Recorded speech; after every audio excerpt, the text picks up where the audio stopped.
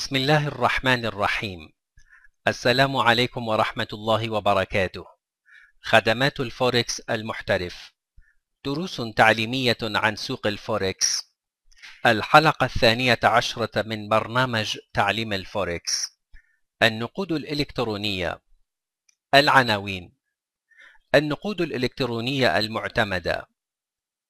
اثنان. نقود باي بال الإلكترونية. ثلاثة.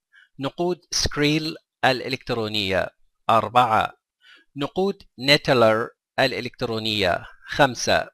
نقود ويب ماني الإلكترونية. ستة. تحويل النقود الداخلي. سبعة. ميزات النقود الإلكترونية. النقود الإلكترونية المعتمدة. توجد أكثر من خمسين نوعية من النقود الإلكترونية حول العالم وأما يمكن فقط اعتبار عدد قليل منها ضمن قائمة النقود المعتمدة. لذلك ينبغي أخذ جانب الحيطة والحذر حين اختيار هذه النقود للتداول. نود الإشارة هنا للتحذير فقط إلى إيقاف العمل بالنقود الإلكترونية الصادرة عن شركة إي جولد وكذلك شركة Liberty Reserve المعروفة ب LR حيث بلغت قيمة الملف المتعلق بفضائح شركة Liberty Reserve نحو 6 مليارات دولار أمريكي وينظر إليه كأكبر ملف غسيل الأموال في التاريخ. النقود الإلكترونية الأكثر اعتمادا في العالم عبارة عن PayPal سكريل نتلر ويب ماني نقود باي بال الإلكترونية. تعتبر باي بال بمثابة أهم أنواع النقود الإلكترونية في العالم. تأخذ شركة باي بال من الولايات المتحدة الأمريكية مقرا لها حيث تتمتع بترخيص رسمي للعمل من قبل مؤسسة NFA التي تقوم بمنح تراخيص العمل في مجال الأسواق المالية وكذلك الإشراف على هذه الأسواق.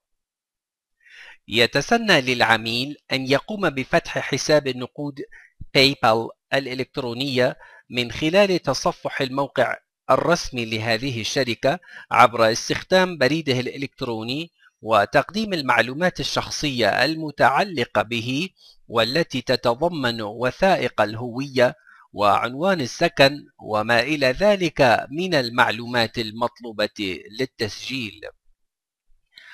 عند فتح الحساب وبغية التأكد من هوية صاحب الحساب تقوم الشركة بحسم مبلغ قدره يورو ونصف اليورو من حسابكم وذلك عبر استخدام حسابكم المصرفي أو بطاقاتكم الائتمانية مثل فيزا كارد أو ماستر كارد أو كليهما معا أي الحساب المصرفي وبطاقات الائتمان ثم تعطيكم الشركة رمزا مكونا من أربعة أرقام لإدخاله إلى موقع الشركة الإلكتروني من أجل القيام بالتأكد من صحة المعلومات المقدمة. يحق لشركة باي بال أن تطالبكم بتقديم وثائق الهوية وعنوان السكن وما إلى ذلك من المعلومات المطلوبة وقتما شاءت ولأي سبب كان وذلك قد يحدث في حالات النقل والتحويل المشبوهة أو إذا كانت هنالك مشاكل فيما يتعلق بالسحب أو الإيداع حيث تقوم الشركة بالتدقيق في مثل هذه الحالات. نقود سكريل الإلكترونية.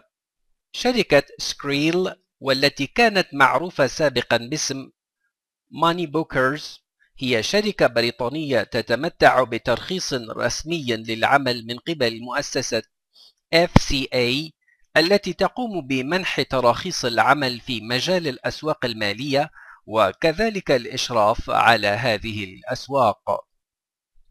يتسنى للعميل أن يقوم بفتح حساب النقود سكريل الإلكترونية من خلال تصفح الموقع الرسمي لهذه الشركة عبر استخدام بريده الإلكتروني وتقديم المعلومات الشخصية المتعلقة به والتي تتضمن وثائق الهوية وعنوان السكن ومعلومات مطلوبة أخرى للتسجيل. إن الشركة تستخدم أكثر من أسلوب بغية التأكد من هوية صاحب الحساب. أحد هذه الأساليب المستخدمة عبارة عن إرسال رمز إلى عنوان سكن صاحب الحساب عبر البريد كي يقوم بإدخاله إلى موقع الشركة الإلكتروني من أجل القيام بالتأكد من صحة المعلومات المقدمة. كما أنه يمكن القيام بالتأكد من خلال استخدام بطاقات العميل الائتمانية مثل فيزا كارد أو ماستر كارد حيث تعطيكم الشركة رمزا لإدخاله إلى موقع الشركة الإلكتروني لطمأنتها من مصداقية صاحب الحساب وبطاقاته الائتمانية. إذا أراد العميل أن يرفع من سقف تعاملاته المالية لدى شركة سكريل من حيث عملية السحب والإيداع فعليه أن يحول مبالغا من حسابه إلى حساب هذه الشركة وأن يستلم مبالغا من الشركة عبر حسابه المصرفي. يحق لشركة سكريل أن تطالب عملاءها بتقديم وثائق الهوية وعنوان السكن وما إلى ذلك من المعلومات المطلوبة وقتما شاءت ولأي سبب كان وذلك قد يحدث في حالات النقل والتحويل المشبوهة أو إذا كانت هنالك مشاكل فيما يتعلق بالسحب أو الإيداع حيث تقوم الشركة بالتدقيق في مثل هذه الحالات. نريد أن نلقي هنا نظرة على موقع شركة باي بال الإلكتروني. يعرض الموقع علم الدولة التي يعيش فيها العميل كما أنه تختلف تفاعلات الموقع مع العملاء من دولة إلى أخرى حيث يتم تحديد أساليب عمل الموقع فيما يتعلق بإدارة الشؤون المالية مثل السحب والإيداع بشكل مختلف في كل دولة.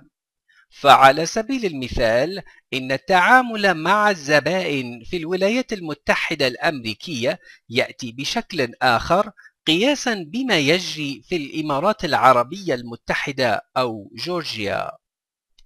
موقع شركة سكريل الإلكتروني مفتوح أمامنا أيضا حيث يتسنى لنا أن نرى أسفل الشاشة ترخيص العمل الرسمي الذي تتمتع به الشركة كما أنه يمكن لنا مشاهدة تراخيص العمل الرسمية العائدة إلى شركة بال أسفل الشاشة. نقود نيتلر الإلكترونية. شركة نيتلر هي شركة بريطانية تتمتع بترخيص رسمي للعمل من قبل مؤسسة FCA و FSC عملية فتح حساب لدى هذه الشركة تشبه تماما تلك التي تجري لدى شركة سكريل حيث هناك حاجة إلى تقديم المعلومات الشخصية عبر البريد الإلكتروني واستخدام موقع الشركة الإلكتروني. إن عملية التأكد من صحة المعلومات المقدمة من قبل العميل لدى شركة نتلر أيضا هي نفس العملية المتبعة من قبل شركة سكريل حيث أنه ينبغي على العميل أن يقوم بإرسال مبالغ إلى حساب الشركة وكذلك استلام مبالغ من حسابها. كما ينبغي استخدام البطاقات الائتمانية وكذلك إدخال الرمز إلى الموقع. يحق لشركة نتلر أن تطالب عملائها بتقديم وثائق الهوية وعنوان السكن وما إلى ذلك من المعلومات المطلوبة وقتما شاءت ولأي سبب كان وذلك مرارا وتكرارا وليس مرة واحدة فقط. نقود ويب ماني الإلكترونية. ويب ماني هو البنك الإلكتروني الروسي ويعتبر من أقوى البنوك الإلكترونية. حيث يتسنى للعميل أن يقوم بفتح حساب لديه عبر البريد الإلكتروني ورقم الهاتف الجوال. تداول هذه النوعية من النقود الإلكترونية أصعب من بقية أنواعها وذلك لأن معايير الحماية والأمان لدى شركة ويب ماني عالية جدا. عملية التأكد من صحة المعلومات الخاصة بالعميل تتطلب حضور العميل شخصيا إلى إحدى مكاتب الشركة وتقديم وثائق الهوية وعنوان السكن ومعلومات مطلوبة أخرى للتسجيل إلى الشركة بنفسه.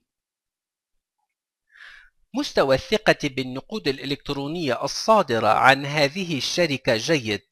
لكنه لا يصل إلى مستوى الثقة بالنقود الثلاثة المذكورة أعلاه. تحويل النقود الداخلي.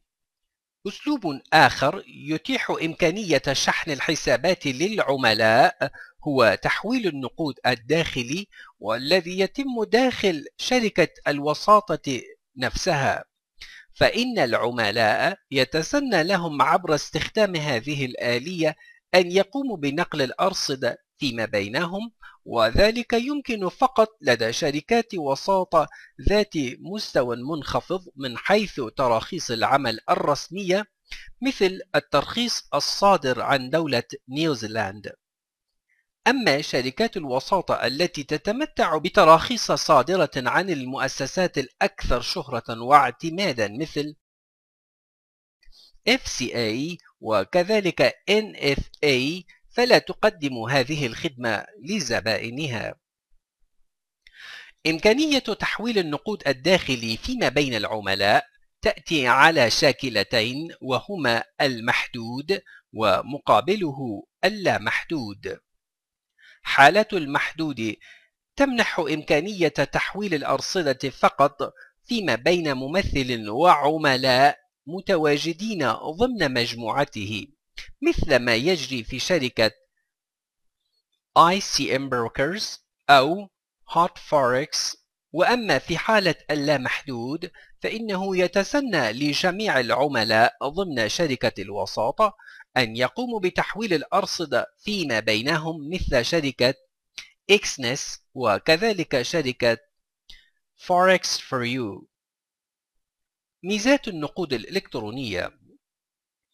واحد السرعة الفائقة في السحب والإيداع مما يتيح للعملاء القيام بتسليم واستلام النقود في الوقت الحقيقي ولا يوجد إهدار للوقت كما في حالة الحوالات المصرفية أو عبر البطاقات الائتمانية مثل فيزا كارد أو ماستر كارد اثنان.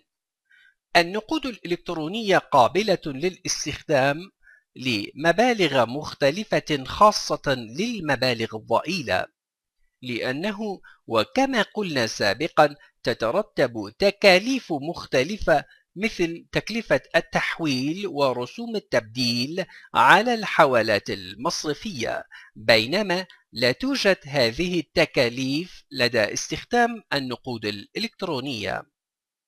ثلاثة.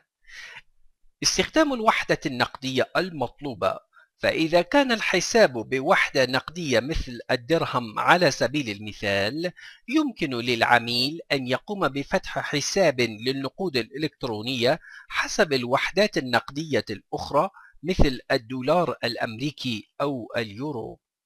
كما أنه في حال تحويل مبالغ ضمن هذه الحسابات فقد يتم الحسم على الحساب من حيث رسوم التحويل ولا تترتب عليها رسوم التبديل بعكس ما هو معمول به لدى الحسابات المصرفية الأخرى التي تتضمن رسوم التبديل أيضا.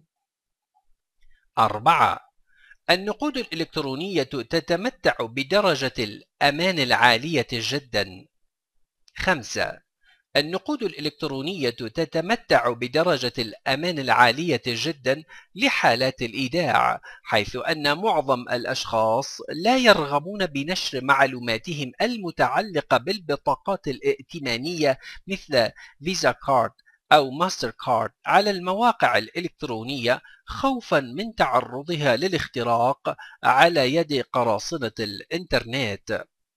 أما المواقع التي تقوم على إصدار النقود الإلكترونية تمنح الزبائن إمكانية العمل بأمان في إطار شبكة فيما بين الحسابات المصرفية والبطاقات الائتمانية. 6 العملات التي تترتب على النقود الإلكترونية ضئيلة جدا حيث لا توجد هنالك تكاليف ثابتة وفقط على العميل أن يقوم بتسديد عمولة تتناسب مع حجم تداول المبالغ. 7 استخدام النقود الإلكترونية لا يتطلب من العميل إدخال معلومات بطاقاته الائتمانية كل مرة. حيث يتسنى له أن يقوم بذلك ببساطة من خلال البريد الإلكتروني وكلمة السر. 8 النقود الإلكترونية تتيح للعملاء إمكانية المتابعة حيث أن المواقع الإلكترونية القائمة على إصدار هذه النقود مثل بايبال وسكريل سوف تساعد العملاء على ذلك. 9 النقود الإلكترونية تتيح للعملاء إمكانية الربط فيما بين الحسابات الإلكترونية مع الحسابات المصرفية والنقود الإلكترونية حيث يتسنى لهم القيام بتحويل المبالغ ببساطة. 10 الذين يريدون القيام بالتجارة عبر الشبكة العنكبوتية بشكل أونلاين سوف يجدون النقود الإلكترونية كمسار جيد يمهد لهم الأرضية الملائمة لإنجاز ما هو المطلوب. نتمنى لكم التوفيق والنجاح وإلى اللقاء في الحلقة المقبلة.